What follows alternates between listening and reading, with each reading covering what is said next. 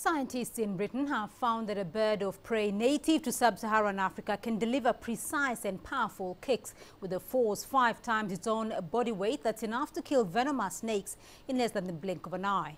The secretary bird stands over four feet tall on long crane-like legs.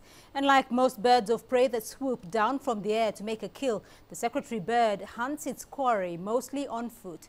Its method for dispatching its prey by stamping on it is distinct from other raptors that typically use their beak to kill after catching their prey with their talons. But there's applications in terms of understanding how prehistoric, uh, particularly large terrestrial birds, their modes of foraging, how they located their prey. And there's also applications in terms of potential prosthetics, the way we manage artificial limbs, the way we design them, and the way the biomechanics of the secretary bird's working in terms of its needs for locomotion and its needs for attacking its prey and how that works from a biomechanical perspective can help give us insights to the way we might develop prosthetics.